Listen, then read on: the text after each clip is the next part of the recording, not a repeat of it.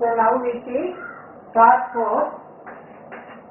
These are both and steam. We are seeing the topic both and steam and this is for competitive examiners. And see the first, uh, third one. A boat running downstream covers a distance of 16 km in 2 hours. இங்க time வந்து 2 hours, distance 16 km. So want to find speed. Speed equal to distance by time. Distance 16 by 2. So this is 8 kilometer per hour. So this is speed 1. And the next we are cover, saying it covers the same distance. Same distance. Same distance அப்படிங்கிறப்ப the same 16 kilometer. அதே 16 கிலோமீட்டர்ல அப்ஸ்ட்ரீமா போகுது இங்க first வர்றது downstream next it is given upstream and the time is 4 hours so now speed 2 this is for uh, downstream this is for downstream and next we are finding for upstream so ST equal to distance by time. Distance is what? The same 16 by time 4 so this is equal to 4 so 4 kilometer per hour. And we know speed of boat in still water. Here formula is half bracket A plus B. So bracket A is what? A A then B. This one is A and the next one is B. Then plus B.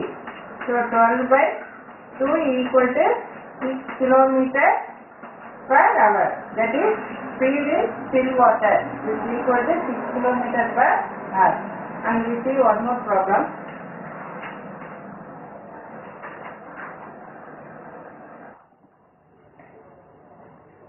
Now we see the next one. Now a boatman goes 2 kilometers against the current of the stream. இந்த against வரப்போ this is upstream. US means upstream. இங்க distance என்ன கொடுத்திருக்கு 2 kilometer. Then time is given 1 hour. Here it is given time 1 hour.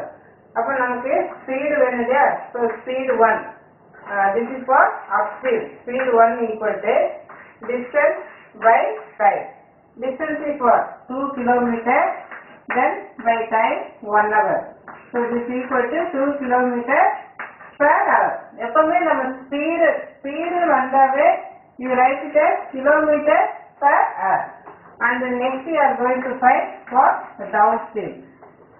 And goes 1 kilometer along the stream. Along அப்படின்னாவே இது வந்து it refers to downstream. ஏன்னா அந்த அந்த நீரோட்டத்தினுடைய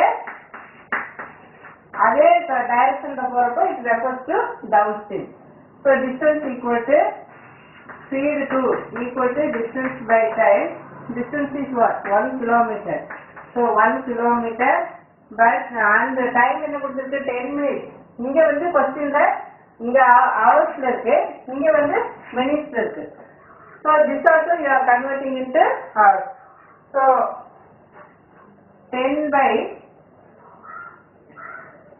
இங்க 10 by 60 because to change into hours we are dividing by 60 அப்ப ரெசிப்ரோக்கலா பண்ணோம் அப்படின்னா 60 by 10 so 60 by 10 if we cancel you are getting 6 kilometer per hour now we are going to find uh, stationary water how long it takes to go 5 kilometer in stationary water stationary water is in a still water so first we have to find speed in still water so speed in still water க்கு நமக்கு ஏற்கனவே formula என்ன தெரியும் half bracket a plus b so half bracket a is what this is in 1 hour 1 hourல நம்ம கண்டுபிடிக்கக்கூடிய speed so half bracket a is what 2 plus இங்க 6 so this equal to half into